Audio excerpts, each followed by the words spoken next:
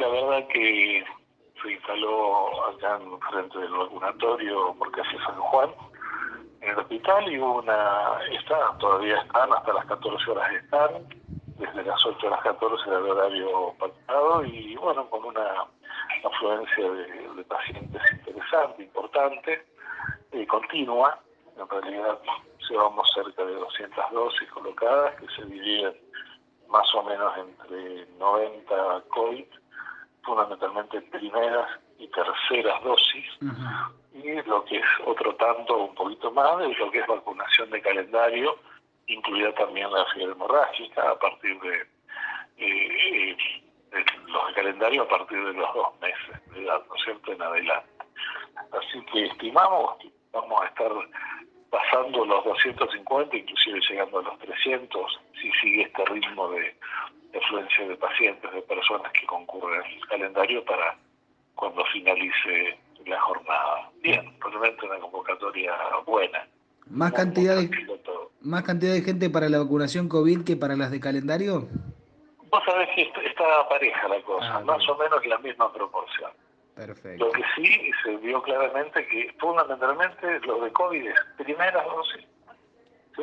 Sí y terceras dosis. O sea, están los rezagados que tal vez no pudieron, o especularon, o dudaron, o tenieron un poco por la vacunación, que están optando por vacunarse.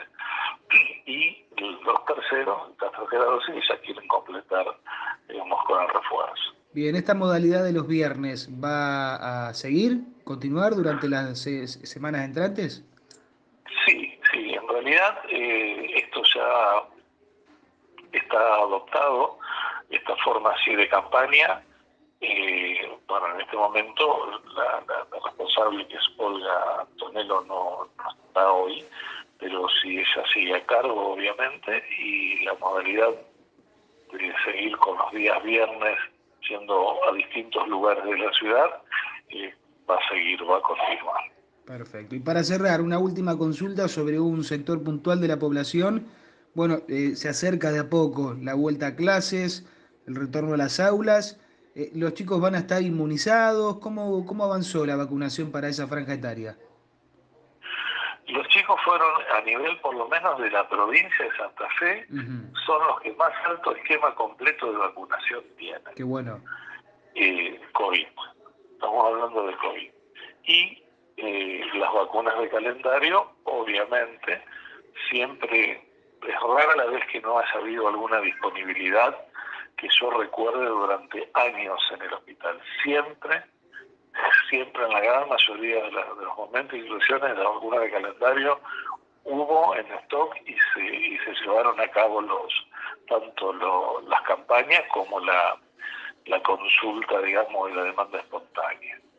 Eh, es más, cada vez que una persona, sea niño o no, viene al vacunatorio, todos los que están registrados en el programa, automáticamente el programa muestra si está pendiente alguna vacunación, se le hace en el momento.